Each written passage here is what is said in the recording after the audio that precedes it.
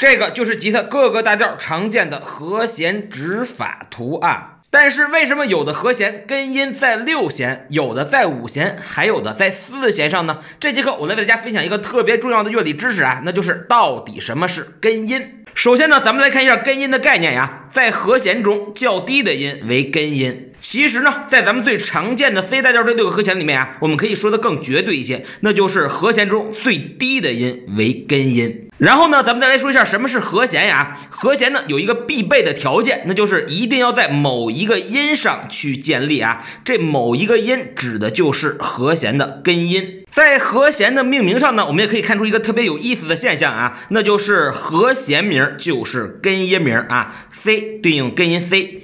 D M 的根音呢是 D，E M 的根音是 E，F 的根音啊肯定是 F。然后咱们再回到和弦的概念上啊，必须在某一个音上去建立啊。这某一个音咱们确定了就是根音。确定了根音之后啊，我们如何去构建和弦呢？原则非常简单，那就是三度叠加。这个三度叠加是这样理解的呀，以非和弦举例，先找到根音 C 啊，然后呢往后数三个数，一二三，没错啊，数三个数它就是三度，然后呢在 E 的基础上再数三个数，一二三啊，叠加一个 G，连续叠加两个三度，就是咱们这个常见 C 大调六个和弦的构成原理。所以呢，DM 和弦的构成音呢也就呼之欲出了啊，在根音的基础上数三个数。一二三啊，是个 F 啊，然后再数三个数，一二三是个 A。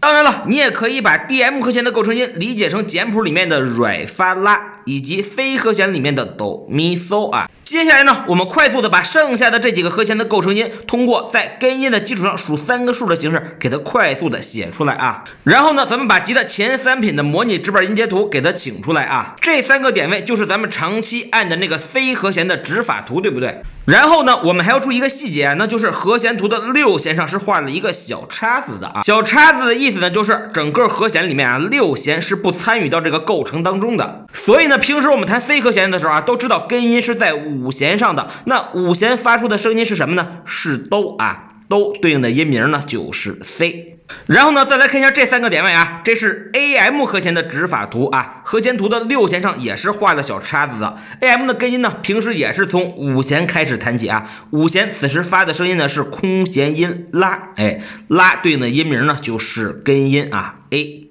然后再看 D M 和弦的指法图啊，它的根音呢是在四弦上，四弦的空弦音呢是 Re 啊，Re 对应的音名是 D。接下来呢，咱们重点的说一下 E M 和弦呀，这是它的和弦指法图，六弦上没画小叉子，表明根音一定在六弦上。此时六弦的声音呢是空弦音咪啊咪，对应的根音是音名 E。但是呢，有时候我们 E M 和弦也会从四弦开始弹啊，为什么会这样呢？咱们来看一下四弦发出的声音是什么呢？它也是咪啊，所以呢，拿四弦当根音是完全没有问题的呀。但是一定要注意和弦当中。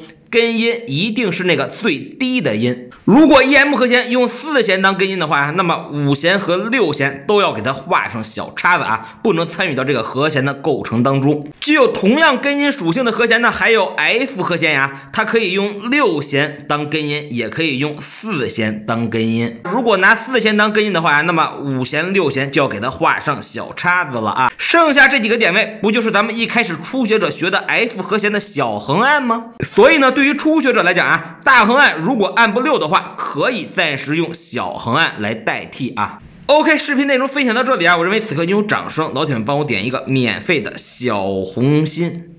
如果你也在学习吉他，不要忘了关注我啊，视频每天持续更新，让我用科学且正确的方法带你们一起学吉他。咱们明天见。